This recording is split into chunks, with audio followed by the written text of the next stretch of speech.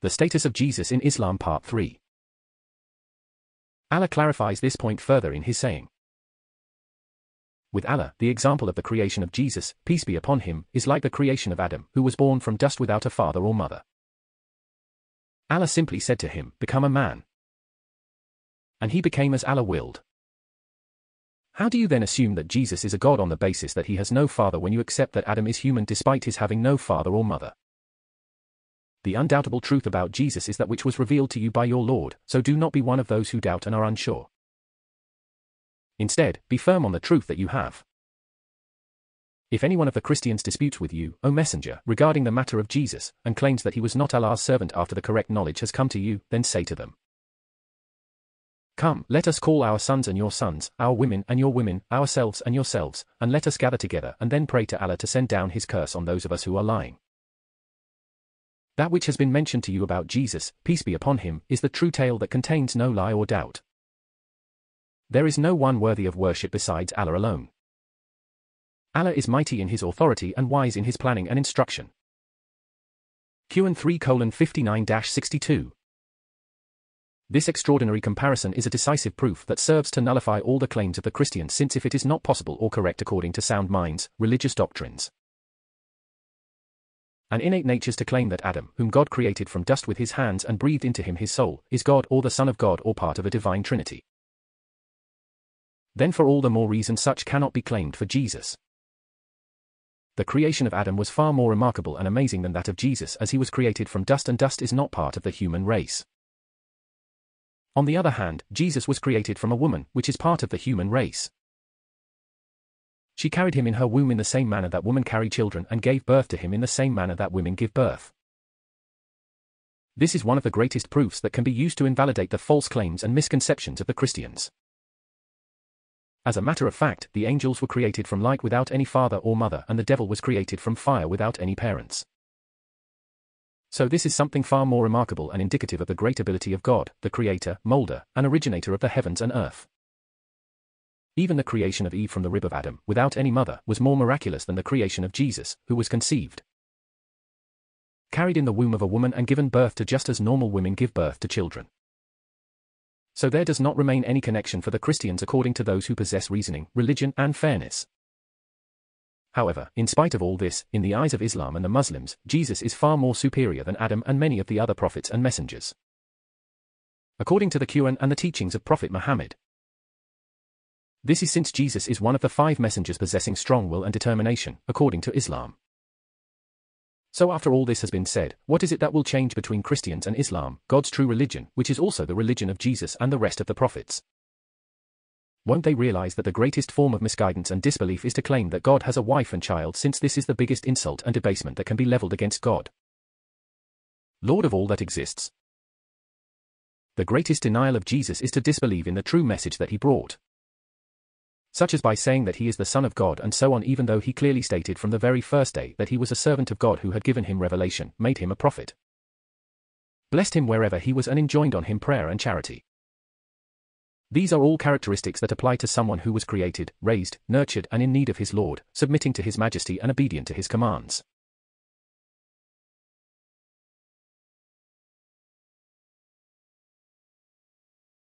Do they expect for the Muslims to put aside their reasoning and reject Allah and all that the messengers came with? Do they expect them to choose God's wrath, severe punishment and hellfire which he prepared for those who reject him, instead of his contentment and reward in paradise? Which was prepared for those who obey and worship him. We call on all those Christians with sound reasoning and who are fair and balanced to stand up before God in groups and individually and reflect on their view of Islam. This is the true religion of God and it is the religion of Jesus and all of the prophets and messengers. Islam has honored Jesus, treated him with justice, and given him the due position that he deserves. I am sure that if you do this sincerely, without any influence from vain desires, and you ask God to help you while looking into the proofs found in your Gospels, even after its distortion and alteration, you will be guided to the truth. Which is that Muhammad is a messenger of God and the book that he brought, i.e. the Quran, is nothing but the truth revealed from him. So whatever God has stated, in the Quran, concerning Jesus is the truth. He was a servant and messenger of God. God created him just as he created everyone else including all of the messengers for the sole purpose of worshipping him. subjecting themselves to his majesty and submitting themselves to his grandness. Below are some examples taken from your Gospels. Translator's note, the translation used for biblical quotes in this booklet comes from the Revised Standard Version of the Bible, which can be accessed online at.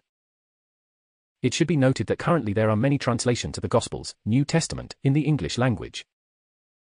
The average reader needs to only view the various translations of the Bible that exist and he will notice the gross changes and alterations in the interpretation and translation of many verses in the Bible, not to mention some being left out completely. This is further proof that the Bible has been distorted and altered as confirmed by God in his final revelation, the Quran, which he guaranteed to protect and preserve in its original form. Allah says, Verily, we sent down the reminder, the Quran, and we will surely preserve it, from corruption. Quran 15 9. I alone revealed this Quran to the heart of Muhammad, peace be upon him, as a reminder for people. I will guard the Quran from anything being added to it or subtracted from it, or anything in it being exchanged or altered. Quran 15 9. God did not make such a promise and guarantee for his prior revelations.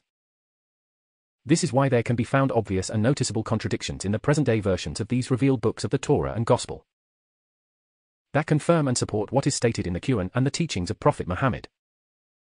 In the seventh verse of chapter 4 of the Gospel of Matthew, it states, 1. Jesus said to him, Again it is written, You shall not tempt the Lord your God. Matthew 4 verse 7. 2. In this same chapter, there is a story about Jesus and the devil, in which Satan orders Jesus to prostrate to him to which the Messiah replies, Begone Satan, for it is written. You shall worship, prostrate only to, the Lord your God and him only shall you serve, i.e. worship. This was the message of all of the prophets and it was the argument that Jesus used against Satan. This clearly proves that all of the prophets including Jesus and Muhammad came to establish the belief that God was one and that he was the only Lord that had the right to be worshipped. Jesus used as proof the previously revealed books that state that God is the only Lord and that he is the only one that deserves to be worshipped and prostrated to. This is the same thing that Allah revealed to Prophet Muhammad when he said, We had sent to every previous nation a messenger instructing his nation to worship Allah alone, and leave the worship of others beside him such as idols. Satan's etc. Some of them were guided by Allah and had faith in him, while others rejected Allah and went against his messenger so he did not guide them and they deserved misguidance.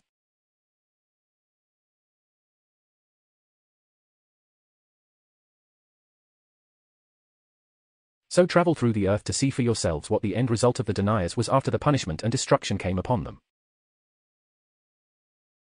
Quran 1636 He also revealed to him, and we did not send any messenger before you except that we revealed to him, there is no God that has the right to be worshipped in truth, except me, so worship me alone. And I have not sent before you, O messenger, any messenger except that I revealed to him that there is no true God except me, so worship me alone and do not associate any partner with me. Quran 21-25 These statements that God revealed to Muhammad are in complete conformity with what Jesus stated in his reply to Satan. They are also in conformity with what Jesus said when he called the tribe of Israel, saying, Verily, Allah is my Lord and your Lord, so worship only him. This is the straight path and Allah, may he be glorified, is both my Lord and your Lord, so make worship sincere for him alone. This which have mentioned to you is the straight path that leads to the pleasure of Allah. Quran 1936 These verses also agree with what Jesus will say on the day of judgment when his Lord will ask him. Remember that Allah will address Jesus son of Mary, peace be with him, on the day of rising and ask him whether he told people to worship him and his mother besides Allah. Jesus will reply, declaring Allah's purity, it was not right for me to tell them anything but the truth. If I had said that you would know it, because nothing is hidden from you. You know what I keep hidden within myself, but I do not know what is with you. You are the only one who knows everything that is hidden and everything that is apparent. Jesus will say to his Lord, I only told people what you instructed me to tell them, to worship you alone. For as long as I remained amongst them I watched over what they were saying. When my term ended and I was raised to the sky alive, you, O Lord, were watching their actions. You are a witness to everything and nothing is hidden from you, so you know what I said to them and what they said after me. Quran 5 116 117 3. In chapter 11 of the Gospel of Matthew, verse 25, it states, At that time Jesus declared, I thank thee, Father, Lord of heaven and earth, that thou hast hidden these things from the wise and understanding ones and revealed them to babes, infants. This shows that Jesus was one of God's servants and messengers. He acknowledged the right of his Lord who created him and bestowed blessings on him, and thus turned to him in thanks while affirming that he alone was the Lord of heaven and earth. This is since God is the one who made these two creations, the heaven and the earth, as well as everything inside them, in between them and upon them. No one else had any part in this, whether Jesus or anyone else, nor can anyone rival him in this matter. 4. In chapter 14 of the Gospel of Matthew, verse 23, it states, And after he had dismissed the crowds, he, Jesus, went up on the mountain by himself to pray. Prayer is one of the greatest acts of worship that is performed for God, and it is only God's servants that stand in need of his mercy who do it. Allah says in the Quran, O mankind. It is you who stand in need of Allah, whereas Allah is rich, free of all needs, most praiseworthy. O people, you are the ones in need of Allah in all your affairs and in all your conditions. And Allah is the self-sufficient who does not need you for anything, the praiseworthy in this world and the hereafter for what he decrees for his servants. Quran 35 15 and he says, the Messiah, Jesus, will never be too proud to reject being a servant of God, nor the angels who are the ones close to him. And whoever is too proud and rejects worshipping him, then he will gather them all together unto himself. Jesus, son of Mary, will never be proud and reject being a servant of Allah. The close angels who do not go against Allah's instruction and who do as they are instructed will also never disregard being Allah's servants. How, then, do you take Jesus as a god? How do the idolaters take angels as gods? If anyone rejects worshipping Allah and turns away from it, then he will gather all of them before him on the day of rising and will recompense each one with what they deserve. Quran 4 colon 172 Jesus was a servant of God and he was not nor will he ever be too proud to worship him. This is his condition and the condition of all of the prophets and angels. 5. In chapter 26 of the Gospel of Matthew, verse 39, it states that the Messiah, Jesus, fell on his face and prayed, My Father, if it be possible, let this cup pass from me. Nevertheless, not as I will, but as thou wilt. There is further proof in this text that Jesus was a servant and worshipper of God who had no control over repelling harm or bringing benefit to himself. The text also shows that he sought refuge in God during times of hardship and asked for his assistance and humbled himself before him in order to remove the harm and danger that was approaching him. So he fell prostrate with his face on the ground, seeking nearness to God, lowering himself before him. Showing need for him and expressing the belief that no one had the ability to repel harm except him. This is the state of all of the messengers, not to mention all of mankind. 6. In chapter 21 of the Gospel of Matthew, verse 46, it states, But when they tried to arrest him, they feared the multitudes, since they held him to be a prophet. This verse shows that the majority of the people who believed in God and in Jesus were monotheists with pure and sincere faith as they believed that Jesus was a messenger and prophet. This proves that Jesus had taught this to them and cultivated them to believe in that.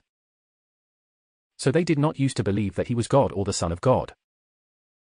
Since he would not teach people these things, 7. In chapter 23 of the Gospel of Matthew, verse 10, it states that Jesus said, Neither be called masters, for all of you, even the Messiah, have one master. Translators note, this text was adapted from what is found in the Revised Standard Edition of the Bible to conform to the original text of this booklet, which was written in Arabic and references an Arabic translation of the Bible. This biblical text is similar to the Quranic text in which Allah informs us about the time when his messenger, Jesus told the tribe of Israel, And verily, Allah is my Lord and your Lord. Allah is my Lord and your Lord, and he is the only one that deserves to be followed and feared. So, worship him alone. This worship of Allah and being mindful of him that I instruct you to do is the straight path which has no crookedness. Quran 351 So Allah, i.e. God, is the Lord of Jesus. He is his master, nurturer and owner and he is the Lord, Master and owner of all mankind. In his treatise, The Clear Evidences, the Muslim scholar Taqiyuddin al-Hilali indicated that some translators have distorted this text but in spite of that. The English translation was saved from this corruption. 8. In chapter 17 of the Gospel of John, verse 3, it states, And this is the eternal life that they know thee the only true God, and Jesus Christ whom thou hast sent. This text confirms that the message that all of the prophets came with, which was that there is no deity that has the right to be worshipped except Allah. It also confirms that Jesus was a messenger of God. This applied to his time, and every nation had its own time and messenger, as Allah says. And I have not sent before you, O messenger, any messenger except that I revealed to him that there is no true God except me, so worship me alone and do not associate any partner with me. Qn 21-25 And he says, And we indeed sent to every nation a messenger, saying to his people, we had sent to every previous nation a messenger instructing his nation to worship Allah alone, and leave the worship of others beside him such as idols, satans etc. Qn 1636 9. In chapter 12 of the Gospel of Mark, verses 28 to 30, it states, And one of the scribes came up and heard them disputing with one another, and seeing that he, Jesus, answered them well, asked him, Which commandment is the first of all? Jesus answered,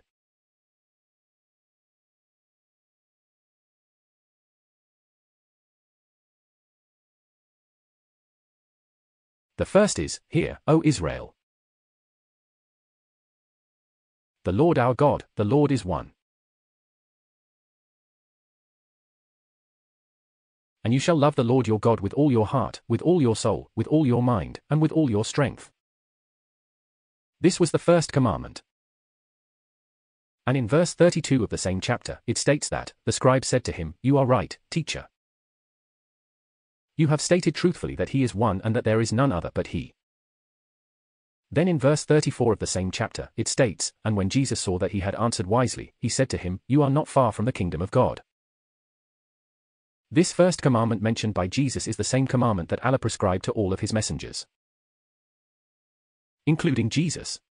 And this was the commandment that the messengers passed on to their nations.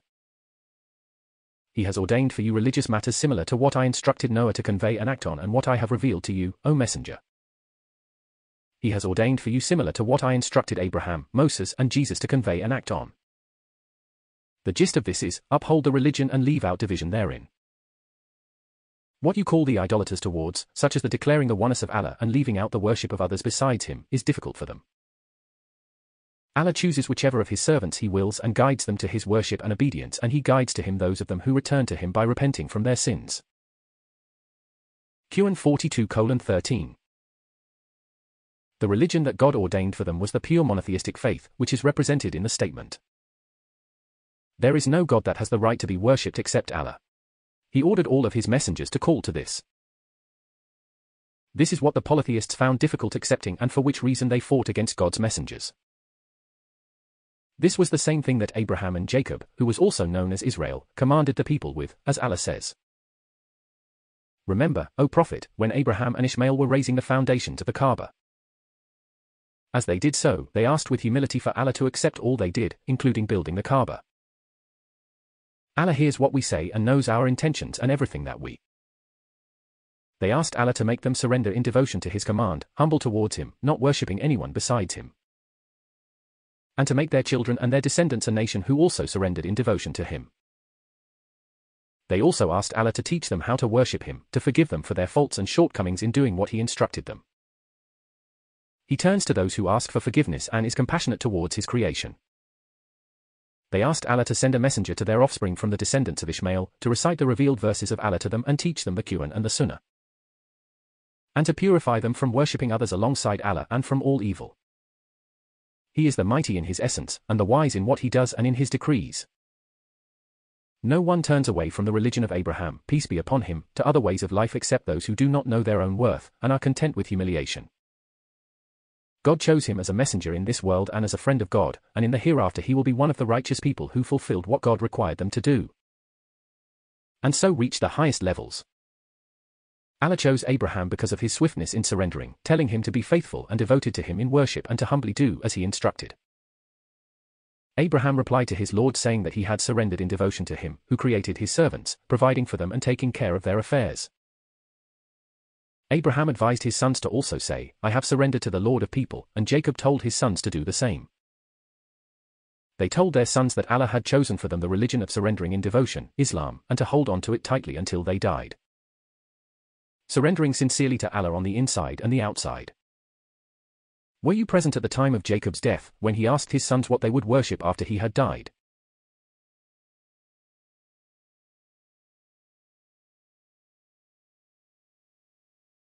They replied to him, saying that they would worship Allah, the Lord of his forefathers, Abraham, Ishmael and Isaac, namely, the one Allah without partners.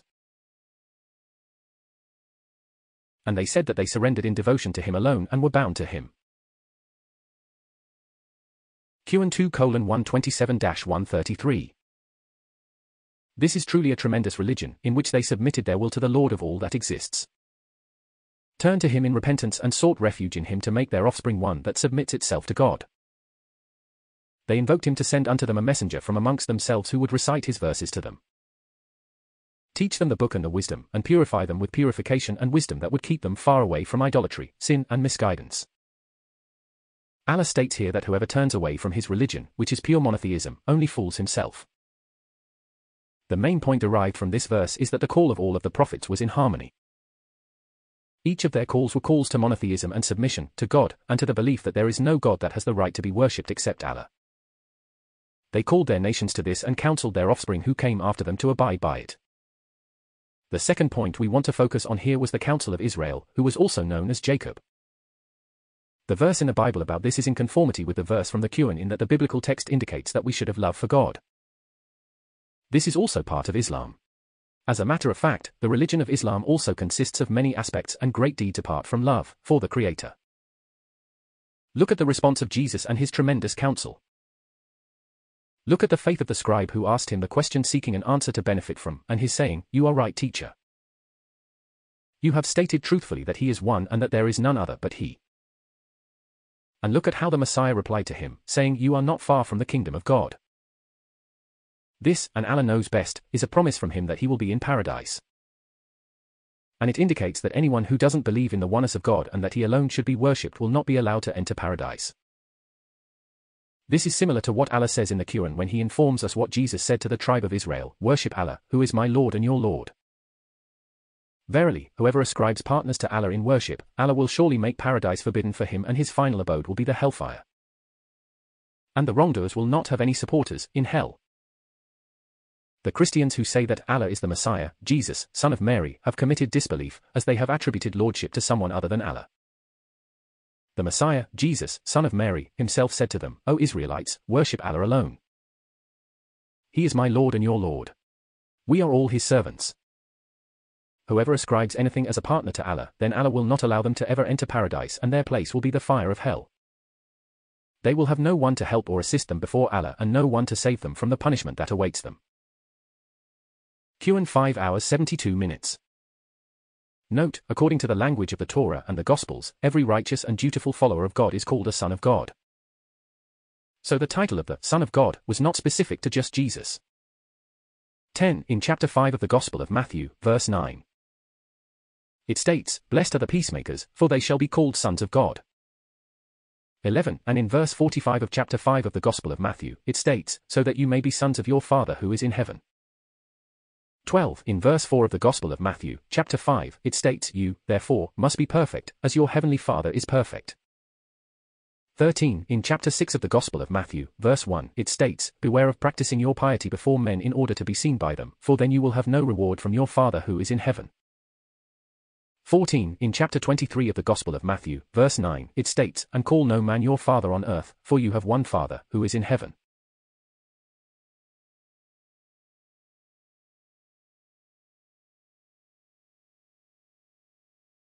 Translators note, the use of the relationship of father and son to refer to the connection between God and his righteous servants is not just limited to the New Testament of the Bible, rather. There can be found proof for it in the Old Testament as well.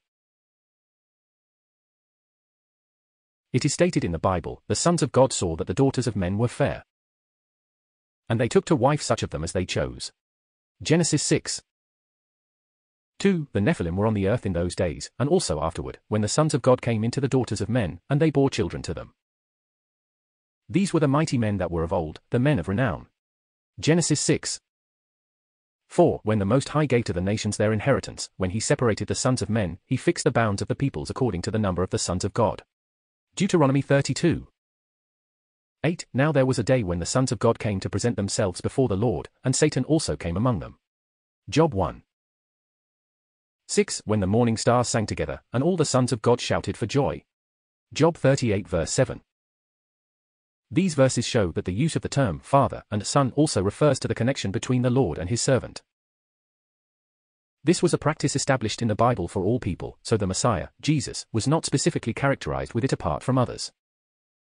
See the clear evidences of Taqiyuddin al-Hilali, PGS. 6 to 10, translators note, further evidence from the New Testament that confirms this point that the use of the relationship between father and son as a substitute for the relationship between God and his servant is as follows, for they cannot die any more, because they are equal to angels and are sons of God, being sons of the resurrection. Luke 20. 36, for all who are led by the Spirit of God are sons of God. Romans 8 verse 14, but to all who received him, who believed in his name, he gave power to become children of God. John 1. 12, and not for the nation only, but to gather into one the children of God who are scattered abroad.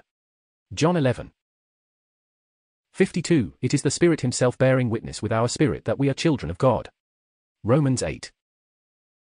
16, because the creation itself will be set free from its bondage to decay and obtain the glorious liberty of the children of God. Romans 8. 21, that you may be blameless and innocent, children of God without blemish in the midst of a crooked and perverse generation, among whom you shine as lights in the world. Philippians 2. 15 See what love the Father has given us that we should be called children of God, and so we are. The reason why the world does not know us is that it did not know him. 1 John 3. 1. By this it may be seen who are the children of God, and who are the children of the devil, whoever does not do right is not of God, nor he who does not love his brother. 1 John 3. 10. By this we know that we love the children of God, when we love God and obey his commandment. 1 John 5 verse 2. Perhaps this was the custom of some of the Jews and Christians, but God knows best, since it states in the Quran, the Jews and the Christians say, We are the children of God and his beloved ones. Say, why then does he punish you for your sins? Nay, you are but human beings from those he has created. He forgives whom he wills and he punishes whom he wills. And to Allah belongs the dominion of the heavens and the earth and all that is between them. And to him is the final return. Both the Jews and the Christians claimed, We are Allah's children and loved ones. Say, O Messenger, in refutation of their claim, why does Allah punish you for the sins you commit? If you were his loved ones, as you claim, he would not have punished you by your being killed or disfigured in the world, and by means of the fire of hell in the afterlife. Because he does not punish those he loves. Instead, you are just like all other human beings. If any of them do good, Allah will reward them with paradise. If any of them do evil, he will punish them in the fire of hell.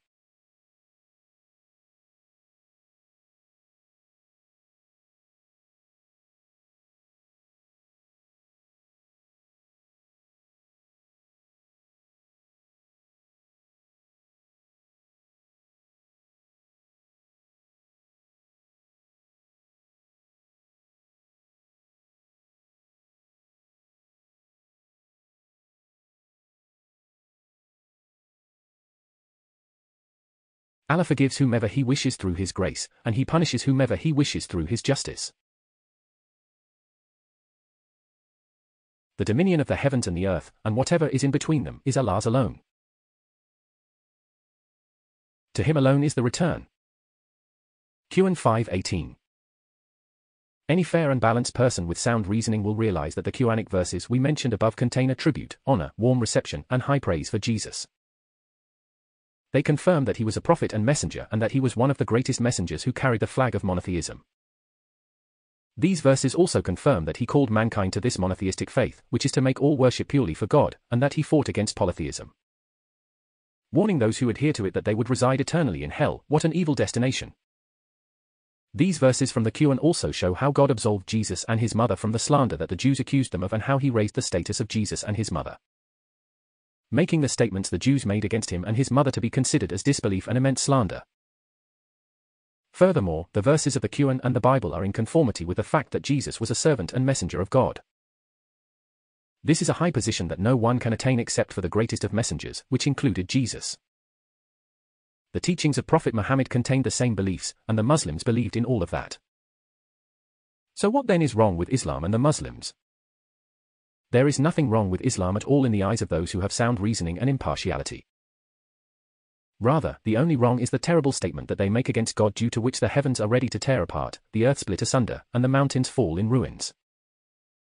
This statement is in total opposition to what is found in the Quran and the teachings of Prophet Muhammad and what the Muslims believe in. Not to mention what is found in the monotheistic texts that are still preserved in the Bible. Has not the time come for Christians, after hearing all this, to hasten and rush to Islam, especially the intellectual, educated and free-thinking ones amongst them? We call them again to stand up before God in groups and individually and reflect on this tremendous matter, of which there is no matter greater than it.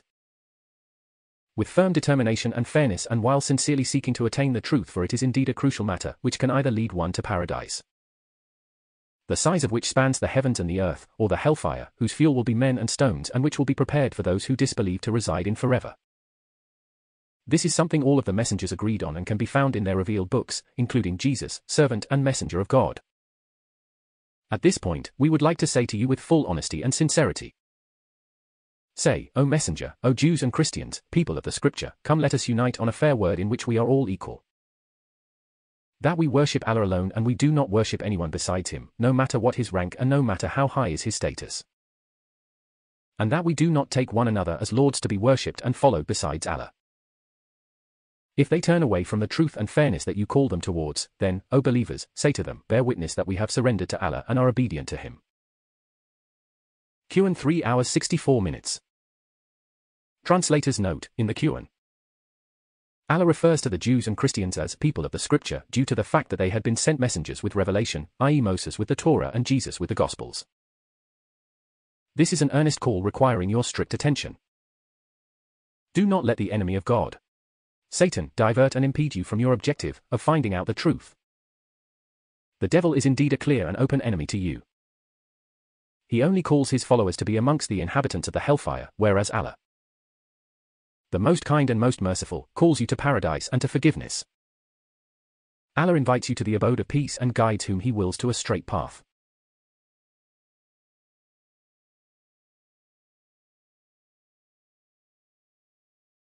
By Allah, true success and prosperity in the worldly life and the hereafter can only be found in this great religion of Islam that has been ordained by God, Lord of all that exists.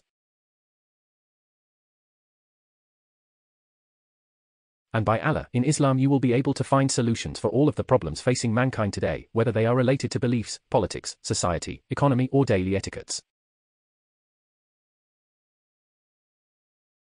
Furthermore, Islam eliminates the hostilities, hatred and malice that a person harvests in life that may cause him to enter the hellfire.